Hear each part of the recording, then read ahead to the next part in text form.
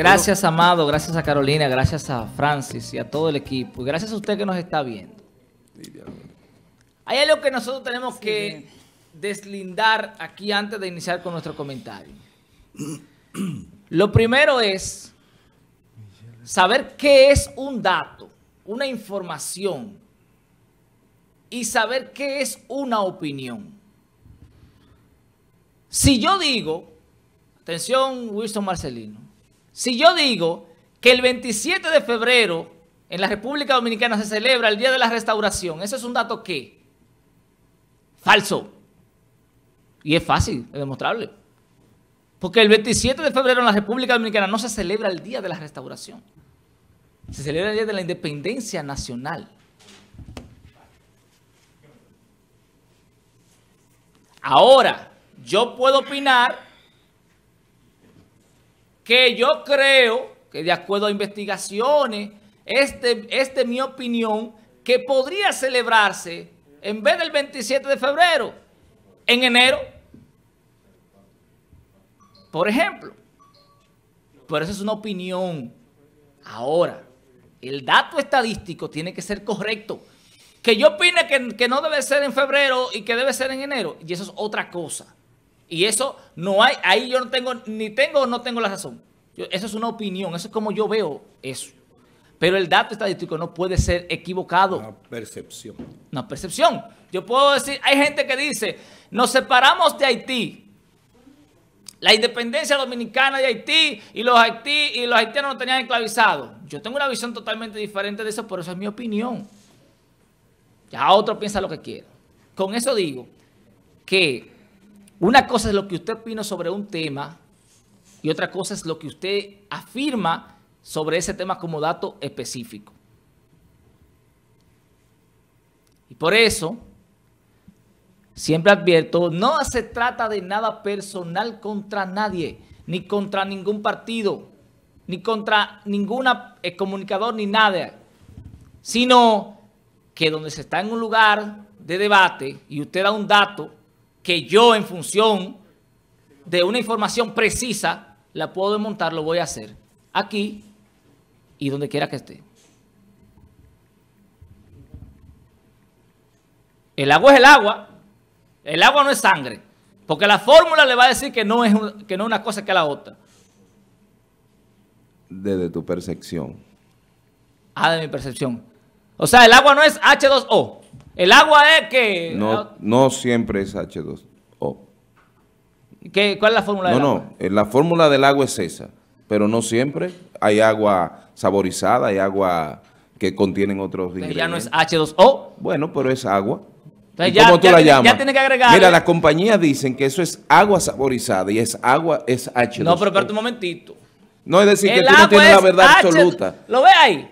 Pero el agua es científicamente, pero por Dios, señor, todavía. en tu defensa tú lo has querido denostar. Ah, por Dios, ¿cómo tú vas a discutir lo indiscutible? Está discutiendo lo si indiscutible. Si el agua es, si a mí me enseñaron. H2O, pero hay saborizado. Vamos, a dejar que él desarrolle su Cada quien coge el sabor que le gusta. Vamos a dejar que él desarrolle su tema. O sea, tú vas a decir que ya el agua no es H2O, que el agua es que eh, H3, No, no, no. Pero por la Dios, fórmula del agua per se es una, pero hay agua, muy, mucha agua diferente. eso es Yo vi a Wilson que andaba entre agua de lodo el otro día.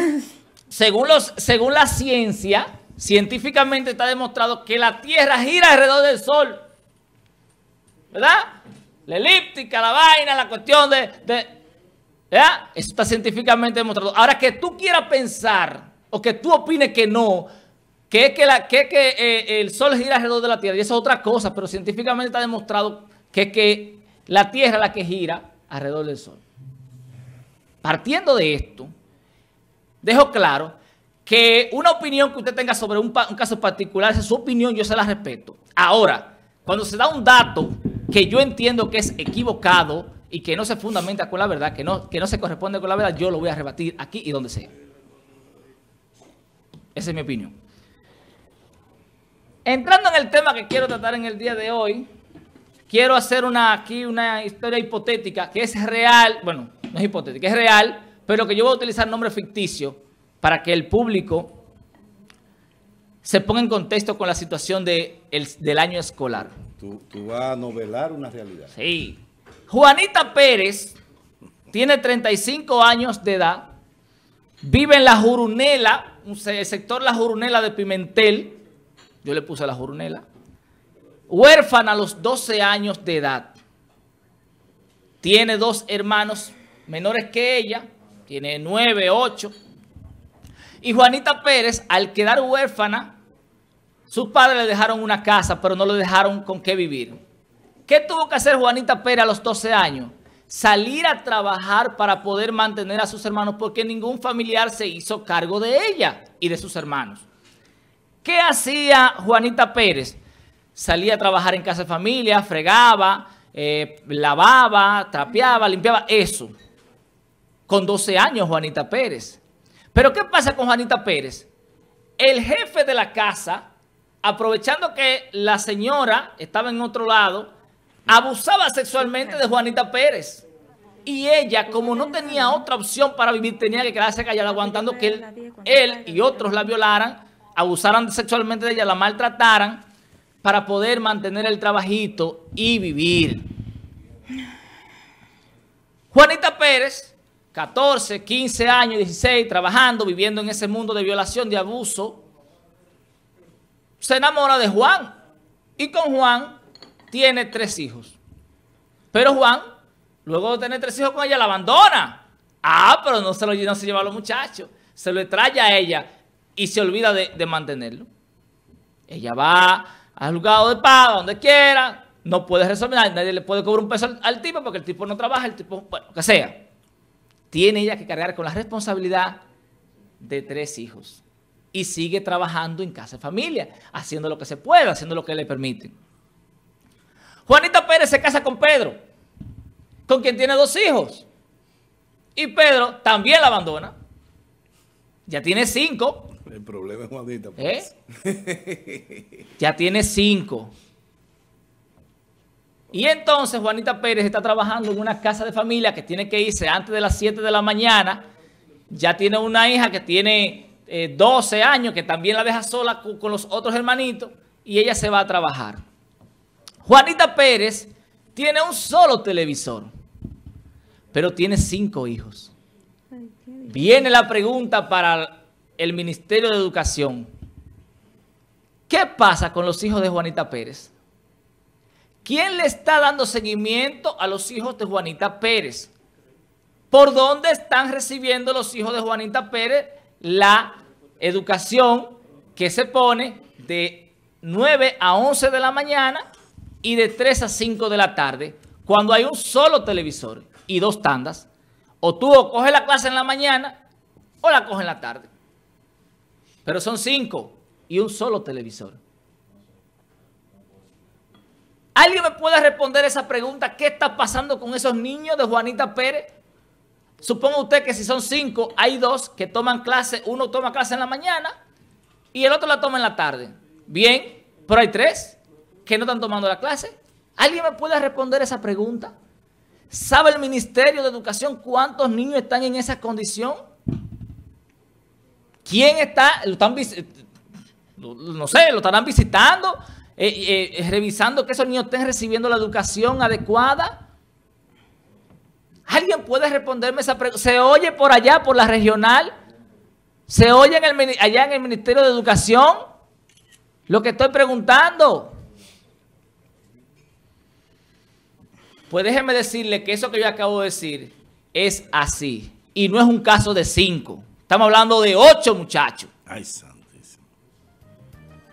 Y dirían, ah, pero eso es responsabilidad de ella porque tuvo tantos muchachos. Ah, pero vámonos al contexto. No acabo de decir que, que huérfana a los 12 y que la violaban constantemente porque tenía que salir a trabajar, a fregar y, a, limpiar en casa eh, eh, de familia para poder mantener los dos hermanitos que le quedaron como herencia a ella. ¿Qué tú le puedes exigir? Que se, que, que se protegiera, que entendiera el sistema, cuando la mayoría de nosotros no nos dieron educación sexual. Le vamos a exigir a ella que sea responsable de lo que no entiende. Y déjeme decirle que eso es un caso de una gran cantidad de familias en, la República Dominicana, de madres solteras, que ahora mismo no saben qué hacer y que los niños están sueltos, mientras el ministro y el gobierno anuncio y anuncio en la televisión, anuncio y anuncio en la televisión, incluyéndolo a ellos que salen en los anuncios ahí que no deberían salir. No deberían salir, porque es promoción personal, la ley le prohíbe. En cada anuncio salen ellos. ¡Eh, aquí estamos nosotros, la bandera dominicana! No, no, es el Ministerio de Educación que tiene que promocionar educación, no ustedes como figura, presidente y el, y el ministro, como un proyecto político. Que alguien me responda, y le voy a dejar abierta la pregunta, que alguien me responda qué va a pasar con esos niños. Porque yo tengo dos. Y, no es que yo, y no, miren, que yo lo estoy probando el sistema. Yo tengo dos que están en, en esa edad. Una toma clase en la mañana y la otra en la tarde. Ah, pero ¿qué pasa? Ya hay problema con el sistema. ¿Qué yo estoy haciendo? Grabándolo, pero yo tengo tecnología. Yo lo grabo para entonces luego sentarme yo con ella pero yo soy un profesional y entiendo y puedo explicarle. Y aquellos padres que no son nada, que no entienden nada, ¿cómo le explican a sus hijos eso? ¿Mm? Cuando evalúen el resultado de este año escolar, yo no quiero estar ahí para ver lo que realmente aprendieron nuestros hijos con relación a, lo, a las competencias que tienen que desarrollar por grado y, y en este año. Bien, gracias a Yerjan La Antigua por el comentario. Vámonos a los WhatsApp inmediatamente, señores. Vamos a ver qué dicen nuestros amigos. Oye, mira, eh, no, me, no me así. A mí me tocan los WhatsApp. También. ¿Qué es esto? Vamos a ver.